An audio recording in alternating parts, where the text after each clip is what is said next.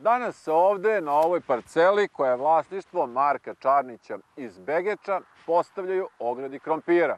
Ovde će biti izloženo 27 različitih sorti koje kompanija Arum prodaje na našem tržištu. Ali nešto više o samim sortama i o izvođenju ovog ogleda saznaćemo od mog sagovornika, doktora Živka Bugačića.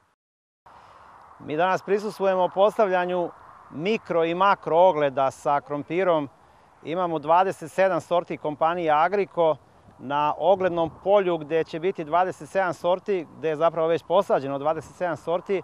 Sve smo sadili u dva reda na ukupnoj dužini 60 metara po sorti. Kada bude dan polja, lepo ćemo otvoriti te redove. Proizvođači će dolaziti širom Srbije iz susednih zemalja, bit će i Holandjana, moći će da vide kako to izgleda kad se uradi sve u najkvalitetnijom agrotehnikom u Srbiji.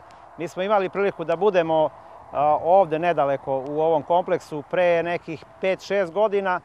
Smatram da smo napredovali prilično od tada, da tih 40 do 60 tona koliko je tad bio prinos neće biti ovaj nikakav problem da sad imamo 60-70 tona što smo potvrdili i na nekim drugim lokalitetima u Vojvodini. A, pored ovih e, sorti koje su u mikro ogledu, imat ćemo i makro ogled sa četiri sorte.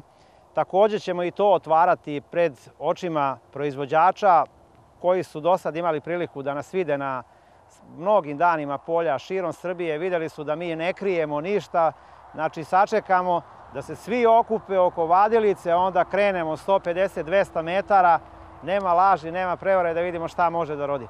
Ja se iskreno rečeno nadam da smo odabrali dobru lokaciju, da će nam godina biti naklonjena i da ćemo postići zacrtani cilj. Inače, Dan polja je između ostalog posvećen i jubileju 20-godišnjici saradnje između kompanije Arum iz Beograda i najveće holandske i svetske kompanije za krompir Agriko.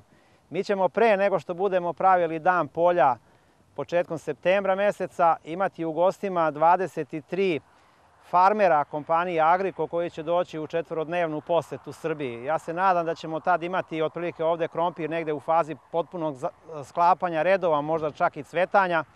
Susedni rani krompiri će već tad biti uveliko u fazi vađenja, odvešćemo ih na razna mesta u Vojvodini do Čačka da vide kako izgledaju različita područja i eto, Arum će zaista imati intenzivne aktivnosti u toku leta i jesen. Evo, ovo je jedinstvena prilika za mnoge gledaoce emisije Svet poljoprivrede da vide kako počinje u stvari dan polja, odnosno kakve se aktivnosti odvijaju, većina njih dođe na kraju i vidi samo rezultate i kako izgleda kompletan rod i kvalitet krompira. Pa ne počinjemo mi danas. Ja sam malo pregledao svesku. Ja sam definitivni dogovor sa Markom Čarnićem imao 30. decembra. Malo pre sam video datum. Znači, tad smo izabrali parcelu, veličinu parcele, pričali o pripremi zemljišta, o vrsti đubriva, dozi i tako dalje. Znači, mi smo radili umeđu vremenu i analize zemljišta. Znači, sve je počelo mnogo, mnogo ranije. Ovo je onaj početak gde sve možda se opipa, gde sve može lako da se vidi, ali pripreme su počele znatno ranije. Evo samo ovako jedna radoznalost s moje strane, ako možete nam otkrijete možda i neku malu tajnu, da li će ovde biti postavljene i neke sorte koje su novost na našem tržištu, a koje su za vas već možda poznate i neki favoriti. Tako je, mi ćemo imati u ogledu oko, od tih 27, 20 sorti se već prodaje na našem tržištu. Imaćemo i tri sorte koje su u postupku priznavanja, odnosno registracije kod nas. Ja očekujem da će biti priznate krajem januara, početkom februara, tako da će se i one naći u prodaji naredne godine.